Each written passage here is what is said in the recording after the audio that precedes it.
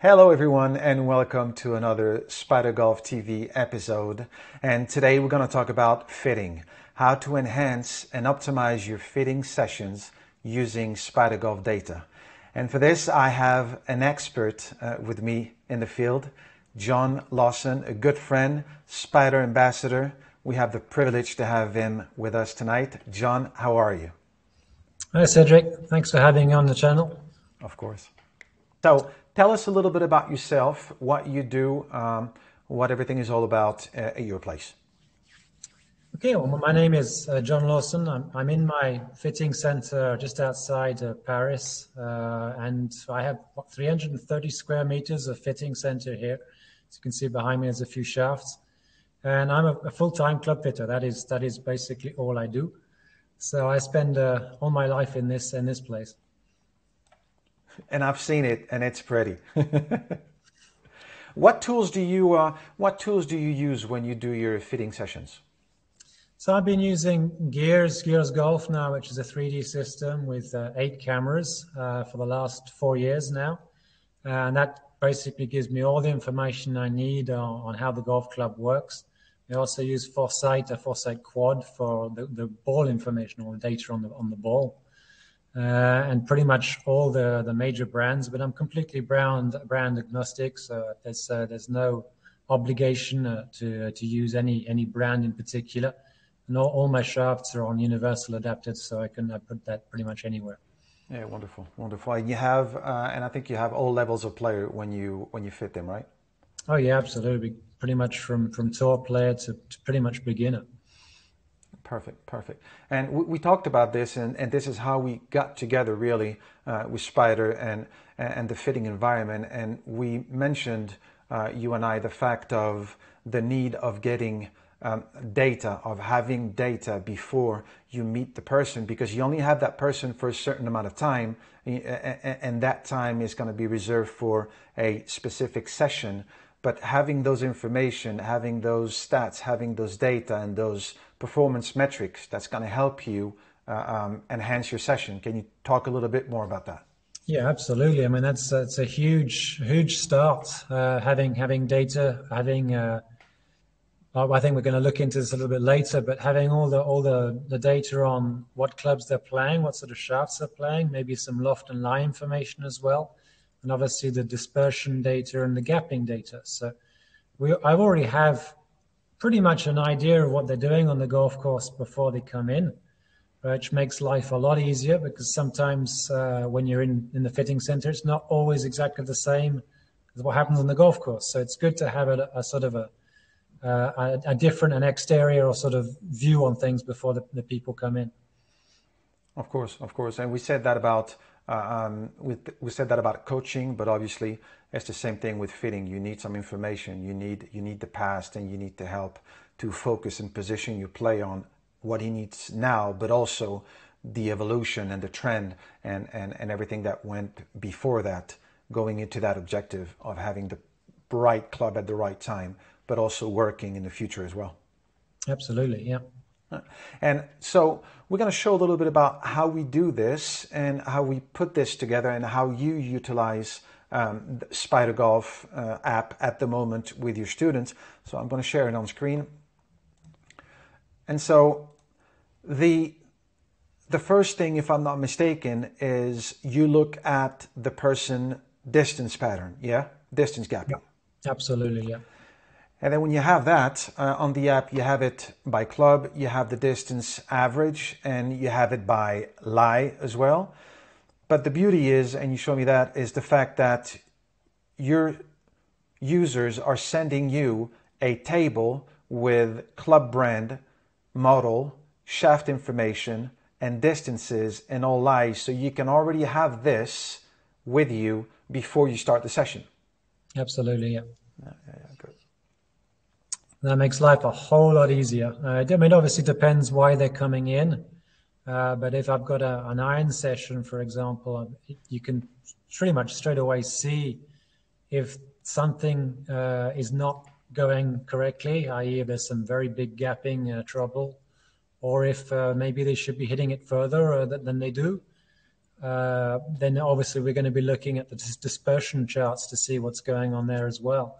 So it's it's a big jump forward as opposed to having to hit loads of balls to get an idea beforehand. It's it's uh, definitely makes things go faster.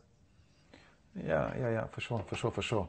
And to give um, to give a little insight of how you function and what you look at. Um, so obviously, just a quick reminder for um, for everyone watching that when you look at dispersion patterns um, with Spider Golf data on the shot by shot analysis, we have that pattern which is represented on screen. So the blue dots are the good contact, the gray dot are the miss hits, the red dot is the average of all the points, the red circle is one standard deviation. We have lateral dispersion, vertical dispersion, we have the number of balls inside the grid radius, and we have the impact quality and the process quality as well. And with that information uh, in the driver, the woods, the irons, and the wedges, we got together and uh, we, we've identified, or John mainly identified with the information that he has acquired throughout his experience, um, some common places and patterns that's going to help him uh, gear towards a club head uh, um, selection to uh, to optimize a session. John, correct me if I'm wrong. Well, it could actually, it could you could take that even further. I mean, it's going to be related, obviously, to club head, center of gravity. It could be, uh, it could be basically related to lie angles, lofts, uh, shaft deflection, uh, grip size. You can you can basically take the, the three elements of the golf club, uh, which could be related to the dispersion which you, you'll see on the screen. Okay, great, great. So, having said that, um, we are going to go into a what I call your spider grid analysis and, and what you did with it. And we'll talk about it a little bit, or you mainly will talk about it, and I'll exchange that. So here is the first slide. Uh, please help us understand all those letters. well, this is just obviously abbreviated because there's not enough room in these little bubbles. But uh, mm-hmm. what you're seeing there is, is, is, a spider grid. And this is more related to driver. Um, so what you're looking at here is obviously in the middle, CS is just uh, center strike and face to path neutral. So that, I mean, if, if you're looking at a, obviously a, a completely neutral path, a center strike, that's going to give you a straight ball uh, in the middle of the middle of the grid.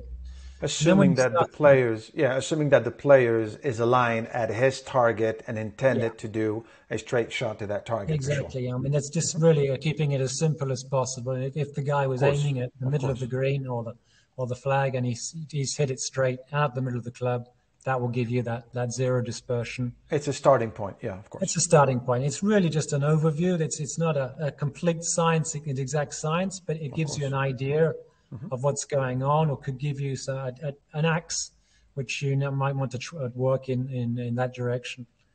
So basically, that's the starting point. So CS is center strike, and then you go from there, and you look uh, look down. So you got the short one. That could be a low strike. I hit on the bottom of the face and HS is just high spin. So just hitting it off the bottom of the face is going to get a, a little more of a vertical gearing, which will create more spin. And that will create this, this, this shorter, shorter ball flight. I mean, it could be other things. I mean, you could, you could have hit it off the top of the face as well. And just, you know, it just could be a, one of those ones. But I mean, that, that's just an idea. What's good is when, and we're going to go along and explain uh, the rest of it, but what's good is, I'm guessing, like you said, it's a starting point, it's an overall information for you to have and keep in your mind when you ask questions and, and when you screen the answers. I think it would actually um, enhance the communication between the player that you have in front of you and you as a fitter. Absolutely. I mean, the first the first thing I do when I get people uh, uh, on gears is obviously to look at, at impact. So if I'm getting the same thing on gears and I've got this, this short tendency and uh, the ball's been hitting on the bottom of the face every time, we've definitely got some sort of coherence in there. We definitely want to know what's going on. And there we obviously are going to be looking for why that's happening. Is, is it more to do with shaft deflection? Is it tee height. It could be all sorts of weird stuff. So I mean, it's, it's just as I say, it's just a starting point. Uh, and then I makes a lot go, I'm going to walk around it sort of clockwise. So short left. That could be a, a toe strike and maybe low uh, so for the same sort of reason. So you got just horizontal gearing going on now. So the ball could be going a little bit more to the left and probably hit off the bottom of the club. So it's giving it more spin again. Uh, the left toe is yet again uh, just gearing to the left. Long left is probably going to be a little higher up, which is going to give you less spin and maybe just a face to path, which is close, which is going to get, you know, more ball speed, less spin and further distance, but to the left. So that, that could be that one. Yet again, you're going to have to explore to see exactly what's going on Of course, of course. But It could be an idea. And long would be, uh, uh, yet again, probably hit uh, slightly higher on the face, which is going to give that lower spin again. And you're just going to move around in that way. It's, I mean, Exactly. But the other side, it could be the, the opposite thing, the face to path slightly open, maybe hit off the heel. Uh, they're, all, they're all pretty logical stuff, just basically going off uh, just contact and face to path on, on that graph. And if we go, um, if we switch to uh, another graph, and if we see, for example, the top left graph, and we mentioned about that spread of mishits short that could be hit on the bottom of the face with a high spin, um, again, it's a starting point to identify and analyze what you're seeing. And that's going to not only speed up your analysis, but allow you to ask the right question at the right time to have your answer. Yeah, I mean, this guy, I mean, the top left is not really got a face to path problem. You're, you're definitely looking at contact there. Exactly, exactly. Um, perfect. So let's go back to the grid, the, the page that we had. So this is con- contact face to path, and we have a, another one, which is shaft. Maybe you want to go over a little bit about this slide? Yeah, well, this is this is basically going to have uh, an effect on what you saw on the first one. Um, so yet again, the middle one is just going to be a, a center strike and a neutral face to path. The short one could be too much shaft deflection, i.e., positive deflection at impact. The head of the club head coming too much in front of the shaft at impact, which is basically going to reduce the radius of the shaft and tend to increase loft and tend to hit the ball a little bit lower on the face. So that's going to give you that short one again. Uh, short left could be a, a droop, uh, maybe just the shaft drooping down and giving in that toe strike, which is going to give you the gearing to from right to left. And you know, moving around the field is basically going to be more, more or less deflection, more more, more or less droop, or it could also be related to torque, to twisting. So the less torque you're going to have, the tendency would be moving more to the left, and the more more to the right. So it's it's it's all. I mean, yet again, this is just a starting point. Of it's just course, an of idea. Of course. But uh, if you've got somebody striking it uh, pretty well, and you've got this sort of lateral dispersion, or you've got somebody who's definitely complaining about contact, and you've got differences in in, in length in profunder, uh, this this this that could be shaft trouble yet again. And again, if we go back to that to, to, that screen, then if we look at the top right dispersion, where he only has nothing but good impact, but the ball is spread, the control is not there.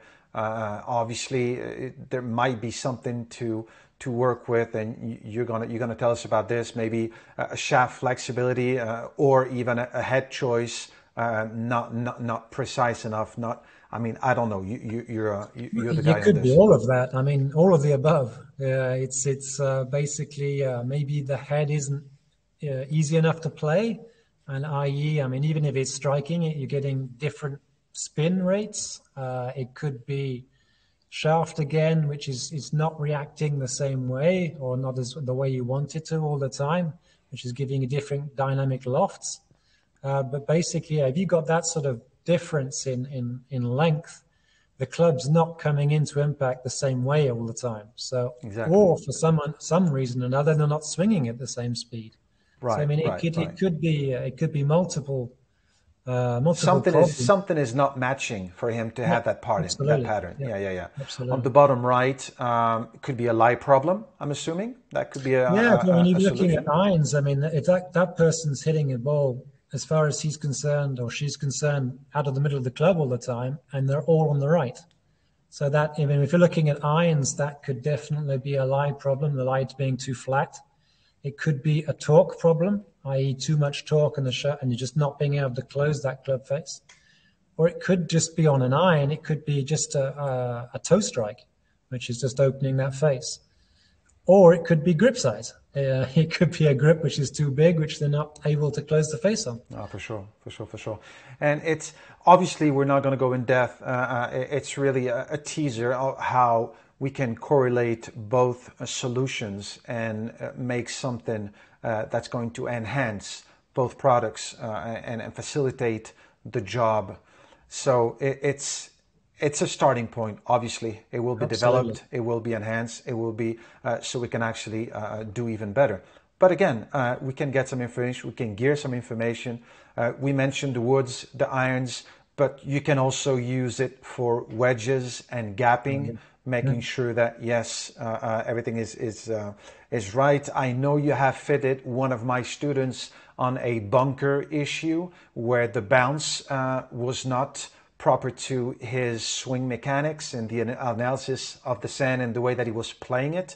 And I mm-hmm. know it was affecting dramatically not only his impact, but obviously his distance pattern. And just a change of bounce uh, made his life much easier. Yeah. So there, there's so many things that can be done in relation to the dispersion from the person's target, intended target, plus the impact quality uh, mm-hmm. helps us, helps you identify a couple of things on top of what you do in your sessions. For sure, yeah.